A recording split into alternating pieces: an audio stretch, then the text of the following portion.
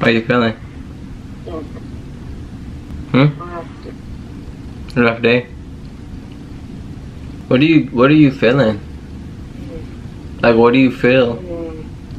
Pain, distress, vomiting, anger, anxiety. I can't sleep for days. And what about like all your CBD and stuff? That shit doesn't help. It does, Chris, but I am just fighting for my life here. Yeah. What's up CB3 gang and welcome back to another video. I'm gonna be honest with you guys, this video might get a little emotional because it is a very serious topic and it's something that has affected my life for a really long time and it's really not something I talk about very often and uh, there's a reason for that. You know, I'm not one to really talk about you know personal things, you know what I'm saying? But today I think it's very necessary because I'm gonna be honest with you guys. My mom has not been doing very well at all, and uh, she's very sick. For those of you guys out there who don't know, you know my mom is uh, has cancer. She's been battling it for a long time now, and I've been blessed to even have her in my life for this long. And um, you know this is something that I've had to deal with for over like five, six years now, and I'm blessed to have had her this long because the doctors told her that she wouldn't even make it past my high school graduation. So the fact that I'm six years later and she's still here and around and in my life is, you know, I'm very grateful and I'm blessed for that. But like I said, guys, she she has not been doing very well at all, and I don't want to wait till it's too late because one thing I noticed from a lot of people is that they wait till it's too late or they wait till someone passes away to speak up or say something. I, I don't think that's the right way to do things. Like, why not tell someone how you feel while they're still here? I don't think it's good to give somebody their flowers when they're not here to enjoy it. So the fact that my mom is still here and she could see this video and uh, hear what people have to say, uh, I want to go ahead and do that right now. You know, guys, my mom has been a huge inspiration in my life. She is the strongest woman I have ever seen, ever met, ever witnessed. And, um, you know, she's my inspiration and she has been for a long time now. The stuff that my mom has done, the stuff that my mom has overcome these last six years, is, is just incredible. And I know it's not just her. I want to thank God, you know, for giving my mom the strength to continue to keep fighting. And I believe in you, mom.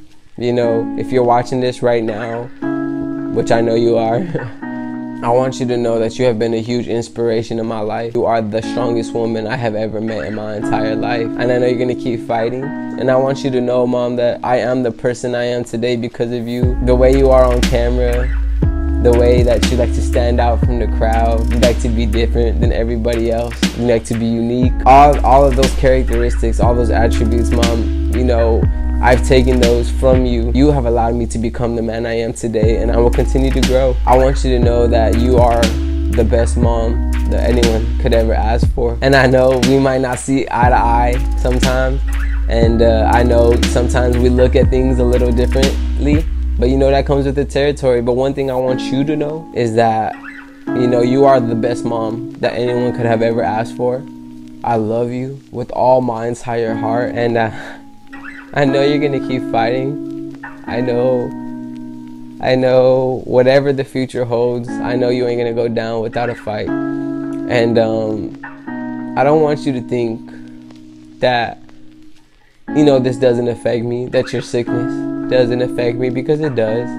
I've just never been one to really talk about it. You know, this, the camera, this is the best way I could express myself. So I want you to know, mom, that I care for you very deeply and um,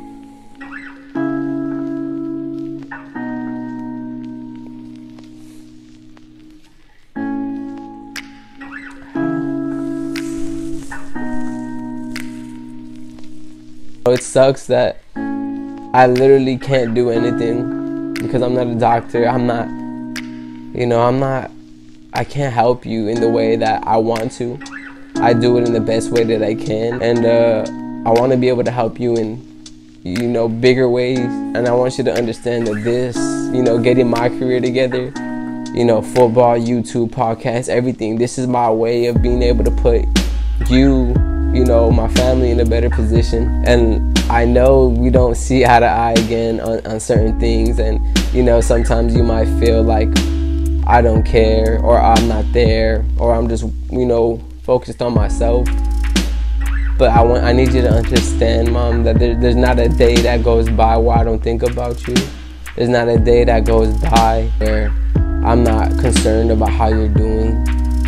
You know, you're constantly on my mind, and everything that I do is for you and for Danny and Dad. And the last thing that I, I want you to think is that I don't care, or that this whole situation that we've been going through for a long time now does not affect me because it does. I just handle it in different ways. I'm different, you know what I'm saying, Mama? I am very different, and, and that's one thing I don't expect you or others to understand because I do operate differently.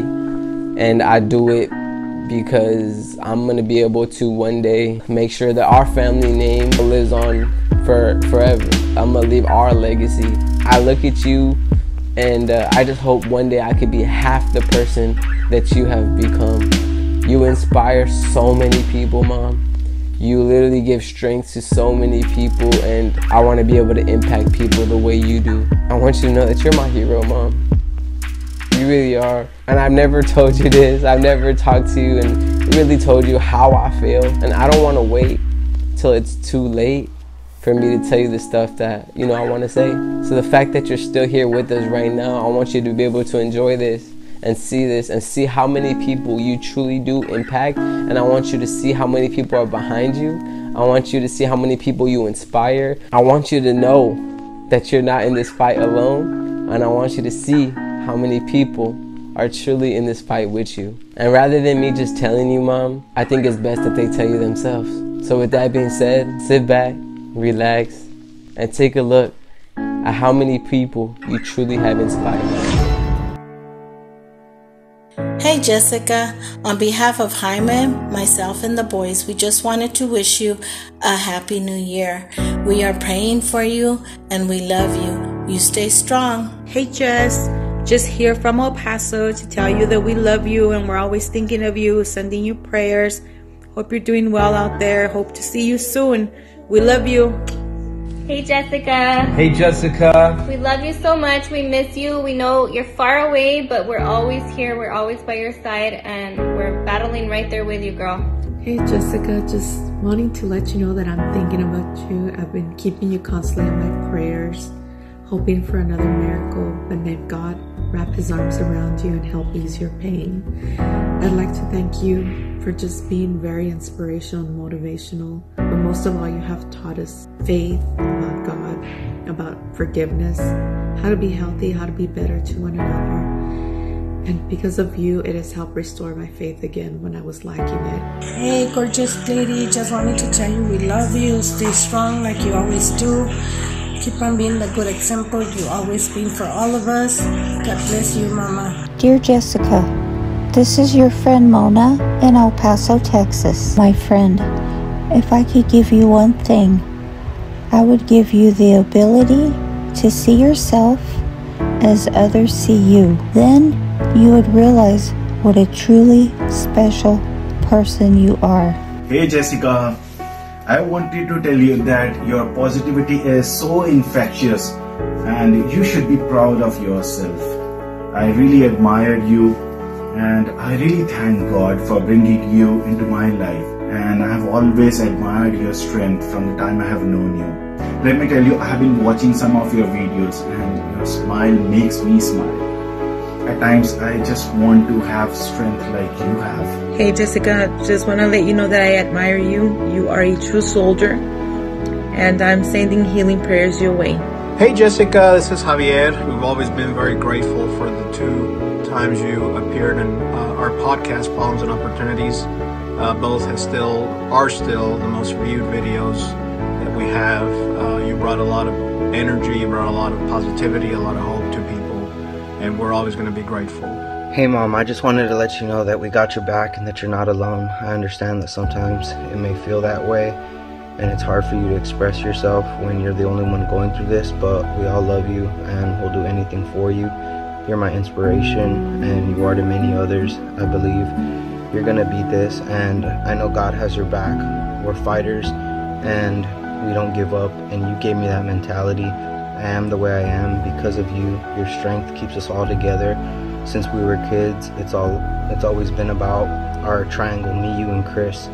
Um, it's unbreakable, just like you, Mom. I love you, and we're here for you. As you can see, Mom, that is just a fraction of the amount of people that you have inspired, the amount of people whose lives you have had an impact on. And I just wanted you to see that, that everybody's behind you, and we're all watching, and we're looking at your story. And you have already created an amazing story, Mom. And I know that no matter what happens, I know you're gonna keep fighting. And uh, all we can do is pray. You know, I'm gonna keep praying. And uh, I hope all of you guys out there will continue to pray with me and pray for my mom. And just keep being an inspiration, Mom, as you have been to me and to many other people around the world. Thank you. I love you. And keep kicking cancer's ass.